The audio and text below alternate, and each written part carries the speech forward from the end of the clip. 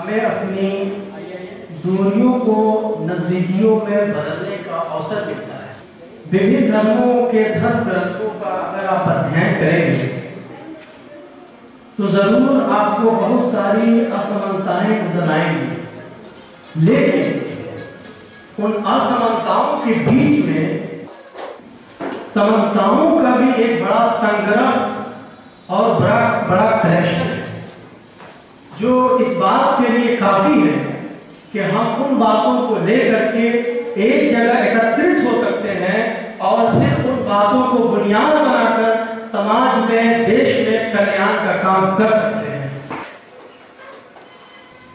اگر دیکھا جائے تو میں جہاں تک سمجھتا ہوں، جہاں تک میری اسٹڈی ہے، سب سے بڑی اور سب سے کمن جو سمانتا ہے سملرٹی جی ہے۔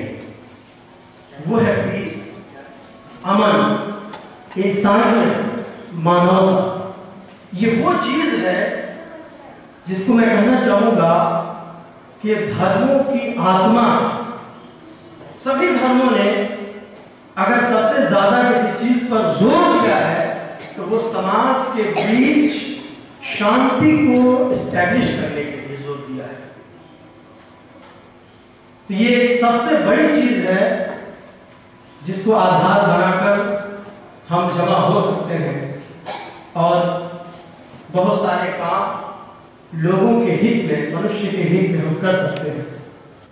اسلام جب آیا تھا، تو بعد میں آیا، اس سے پہلے بہت سارے ریلیجنس آ چکے تھے۔ سب سے نیا تھا، ایک سوال اٹھ سکتا تھا یا اٹھ سکتا ہے کہ اس نے مذہبوں کی گنتی میں، دھرموں کی گنتی میں ایک اور دھرم کا اضافہ کر دیا۔ ایک اور دھرم کو اور نیا دنیا کے سامنے پیش کر دیا۔ مگر اس چیز کو، اس بھرانتی کو جو اسلام نے ختم کیا، وہ دو طریقے سے ختم کیا۔ ایک یہ کہ اس سے پہلے جتنے بھی مذہب کے پروفیٹ تھے، پیغمبر تھے رہنما تھے ان سب کو ریکگنیشن دے دیا۔ سب کے بارے میں کہا کہ ہمیں سب کو ماننا ہے۔ اگر آپ عیسیٰ علیہ السلام کو مانتے ہیں تو ہم بھی مانتے ہیں۔ اگر آپ مائیکل کو موسس کو، موسیٰ کو مانتے ہیں تو ہم بھی مانتے ہیں۔ بلکہ یہ ہمارا انڈیویجول معاملہ نہیں ہے، ہمارا پرسنل معاملہ نہیں ہے آج کوئی شخص کہہ سکتا ہے کہ ہمیں ان سے محبت ہے، ان سے لگاؤ ہے، ان سے پریم ہے۔ لیکن ہمارا معاملہ یہ ہے کہ ہمارا اپنا کوئی یہ پرسنل معاملہ نہیں ہے، بلکہ یہ ریلیجیس معاملہ ہے۔ یعنی اگر ہم نہ مانیں تو مسلمان ہی نہ ہو یہ ہے اسلام، جس نے یہ سکھایا ہے کہ سبھی دھرموں کے دھرم گروہوں کا آدر کرنا ہے۔ ان کے پرتی اپنے سینے میں، اپنے ہردے میں پریم کی بھاونا پرکٹ کرنا ہے۔ اور دوسری بات یہ بھی سکھائی کہ مذہب میں دھرم کے اندر کوئی زبردستی نہیں ہے۔ یعنی کسی کو دھرم میں زبردستی داخل نہیں کیا جا سکتا۔ دھرم ایک ایسی چیز ہے جو خوشی خوشی ایکسپٹ کیا جاتا ہے۔ اس کے پرتی آکرشت ہو کر کے اسے قبول کیا جاتا ہے۔ کوئی اگر چاہے کہ کسی کو ہم زبردستی کسی دین کے اندر داخل کر لیں تو یہ اس دھرم کی آتما کے گرد ہے۔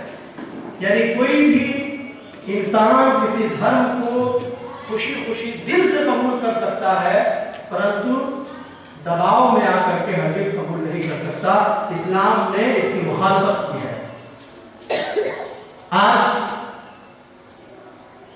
ہم سبھی حضرت عیسیٰ اور پیس کے حوالے سے اکٹھا ہوئے۔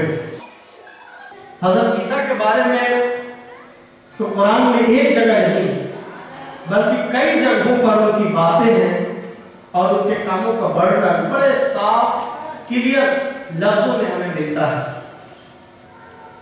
سورہ آل عمران ہے، جس میں اسپیشلی ان کی ماں کا بھی ذکر ہے، حضرت مریم۔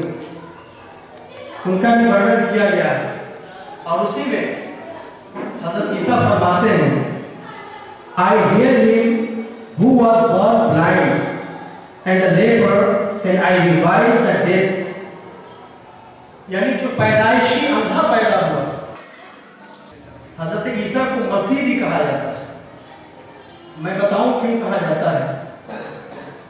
ان کے ہاتھوں میں شفا تھی۔ بیماری کا علاج تھا۔ مسیح کا مطلب ہوتا ہے ہاتھ پھیرنے والا۔